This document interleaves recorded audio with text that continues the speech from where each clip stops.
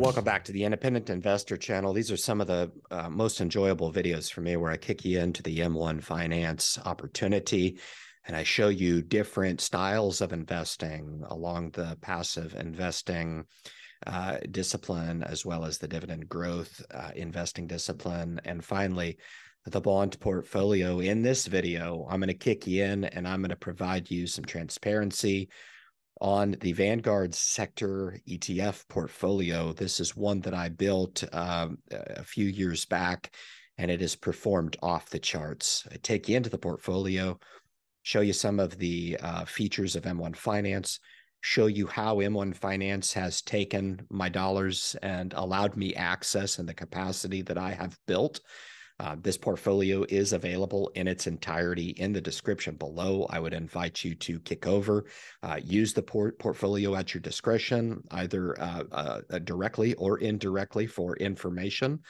Please be advised I am affiliated with M1 Finance. I can receive compensation if you do click on the links for providing information such as this. So, with that, we will kick in to the Vanguard Sector Specialty ETF portfolio. Please enjoy. I'd love to welcome everybody into the Vanguard Sector Specialty ETF portfolio. It's been quite a long time since I've covered this portfolio as appropriate. This is a long portfolio. This is one that I uh, fund uh, fairly frequently uh, with a smaller amount. So, set up on a true dollar cost average schedule using the complements of M1 Finance, I'm able to buy and own each of the 11 sectors in the S&P 500. For you guys that are new to the channel and don't understand what a sector is, you will after this video, and you'll understand that there are 11 in the S&P 500, um, not to be ignored by the subsets and micro sectors within the S&P in each of their respective niches. Um, but there are 11 main sectors. Uh, I own each of the sectors using the Vanguard's product that allows me to buy the exclusive ETF, the exchange traded fund for each of the segments in the S&P 500. This allows me to allocate the specific percentage of dollars to each of the sectors to my liking, and this is how the portfolio has performed. If you noticed here uh, on the charts, this is what uh, everybody's been complaining about over the last couple of years, the stock market has been pretty rough, but passive investing has held in quite nicely. Um, this is one where the capital inflow to the account continues. Uh, I'm staring down a major threshold in this uh, portfolio.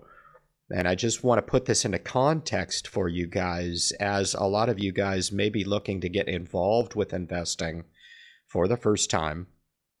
And think about getting involved back in 2019. This was right below the um, the pandemic, uh, and I have incurred the pandemic and more in this account. But I want you to pay particular attention to the performance, yes, um, which is done quite well.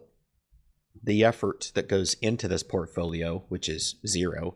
Once it's established, I just fund it and um, I very rarely visit this portfolio. I may check in on it from time to time to monitor the progress, and I'm pleasantly surprised every time that I do, staring down that $25,000 threshold. And where I challenge a lot of investors to get up to that first $10,000 mark um, to start.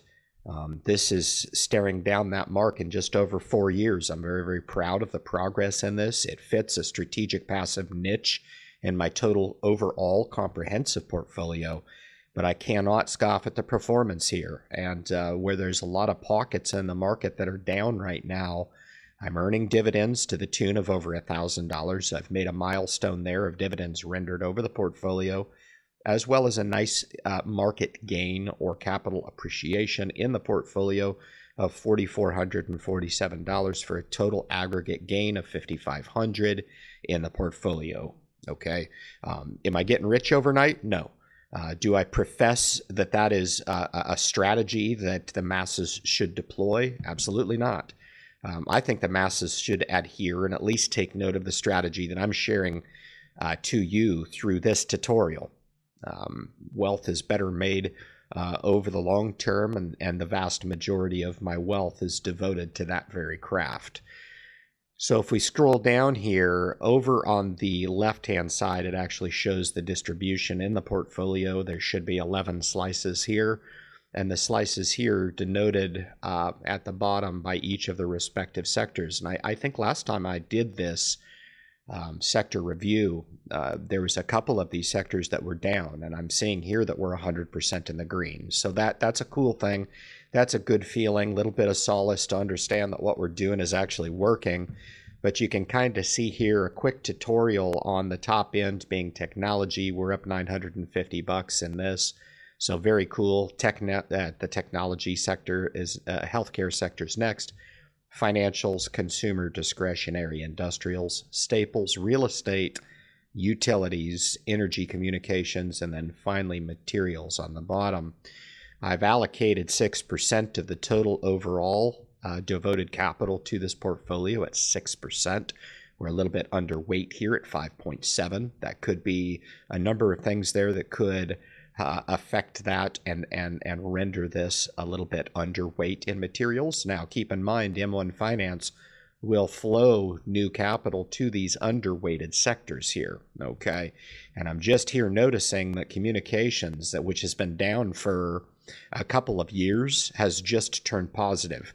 And I don't think I've ever been so happy to see four four dollars and forty four cents. This was down massively uh, as the communication sector went through some restructuring, uh, and it really got hit hard. Companies like Verizon, AT and T really took it on the chin, uh, and that sector really ha- did digress. And we're actually a little overweight based on that recovery in uh, telecom and it may be some of the inflows to telecom to actually go for a little bit more of a safety play. You can see here energy has just absolutely crushed or in line with energy, which is great. The utilities ETF, which actually is one of the few that I own in two different spots. Uh, one strategically here in this portfolio, and the other being in my Roth IRA. It's a wonderful um, augment as far as sectors to render that bottom line dividend income a little bit more robust. And I do that in the capacity of the Roth IRA. The complementary to that is in the other Roth IRA, and that is held in VNQ, which is the real estate uh, uh, sector uh, ETF. Uh, we are a little underweight in real estate. Real estate's kind of come off a little bit. We're in line with staples.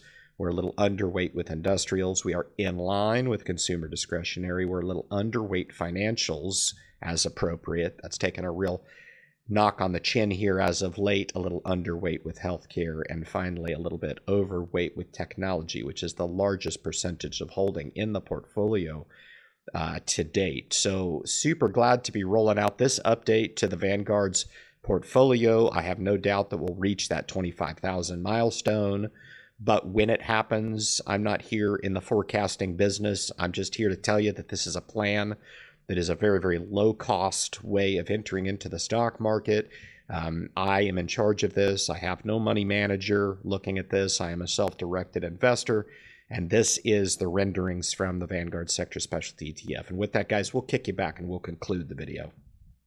And so we've come out of the sector ETF portfolio. Hope you've enjoyed. The real takeaways from these videos is to understand that I'm staring down a $25,000 threshold in the portfolio. It's a big milestone for the little amount of work required. Once this is built, there's actually no requirement whatsoever, um, just a maintenance requirement, I guess, by funding the account, keeping it happy um, keep it growing over time in the capacity that I've demonstrated to you. Um, these numbers are as they are. They are not fabricated. They are, they are uh, representative of when I filmed this video. And I hope you guys appreciated that level of transparency. If you enjoy content like this, I'd invite you to subscribe to the Independent Investor channel. We do all kinds of cool stuff, tutorials, portfolio tutorials, live streaming on Friday. It's a really cool experience. And I put the power in the hands of individual investors looking to take control over their own financial future. Leave your comments at the bottom of the video, guys. Hit the thumbs up on the video to help support the channel, guys. Thank you so much. And good luck in your investment future.